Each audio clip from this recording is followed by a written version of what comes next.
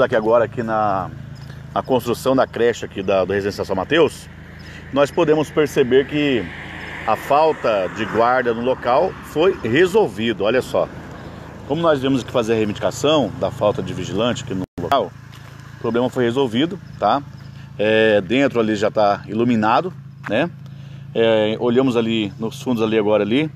Também tem uns cachorros também ajudando ali na segurança do local.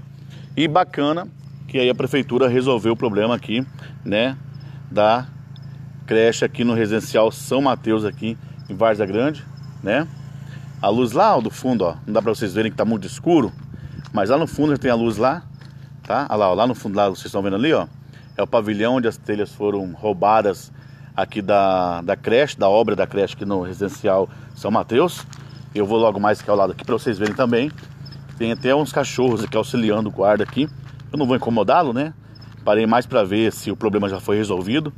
Que a gente passou ontem não tinha resolvido ainda, mas hoje muito bom, muito bacana. Já o problema foi resolvido.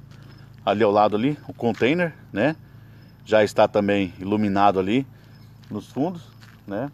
Ó, que bom. Tem até uns cachorros ali amarrados ali auxiliando aqui na vigilância deste local. O que nós não queremos, pessoal, o que a gente não quer, aliás, é que fique abandonado sem ninguém para tomar conta, para poder as pessoas depredarem ou mesmo furtarem materiais aqui desta obra, porque é uma obra importante para a nossa comunidade, é uma obra importante para a nossa região, e o que nós não queremos é que as pessoas roubem materiais aqui, né, que vândalos depredem o local e já está com guarda aqui nesta obra, nesta construção da creche. Vou tentar aproximar só mais um pouquinho, vocês verem lá ó, a luz né? Olha, olha só. Já tem luz lá já, ó. Tá vendo? Aquele local onde eu entrava, que estava escuro, que eu colocava fora do carro. Mas agora já tem luz já no local.